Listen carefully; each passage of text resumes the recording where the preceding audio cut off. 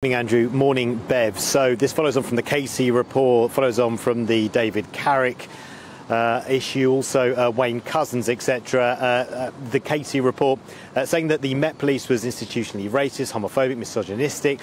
And then you remember back in January, Mark Rowley, the boss of the Met Police, then launching this investigation. Over a thousand people investigated, uh, previously investigated for uh, domestic violence and sexual abuse.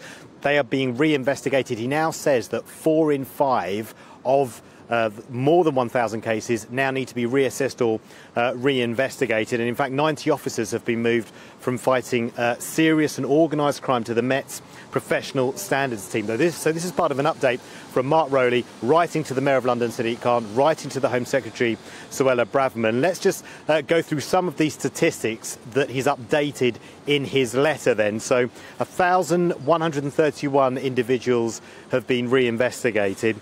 246 will face no formal action because correct action was taken at the time. 689 will undergo a new assessment to pursue new or missing lines of inquiry, including possibly talking again to victims and witnesses. Uh, 196 face formal risk management measures and potentially a review to determine if they should remain in the force. Now, he also mentioned in his letter that 161 Met officers have criminal convictions. Of these, 76 for serious traffic offences such as uh, drink driving, 49 are for dishonesty or violence, 8 committed the offences while they were serving in the Met, 3 have convictions for sexual offences. Now, uh, Mark Rowley also said that the force is going through all 50,000 of its staff. It's been through uh, 10,000 of them already, checking them against the police national database.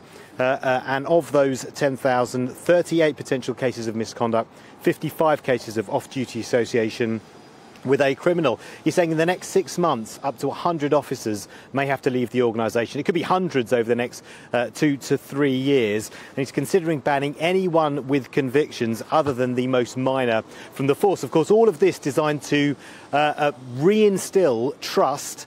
Uh, public trust in the Metropolitan Police. And of course, police in this country, they police by consent. They need that trust. And in fact, a BBC YouGov survey uh, out today says that, uh, uh, that almost half of women totally distrusted the Met. So all of this designed to reinstill public confidence, public trust in the Metropolitan uh, Police. But listening to the chairman of uh, London's Police and Crime Committee, Susan Hall, this morning, she was commenting on Sir Mark's findings. She said that uh, things are going to get much worse before they get better.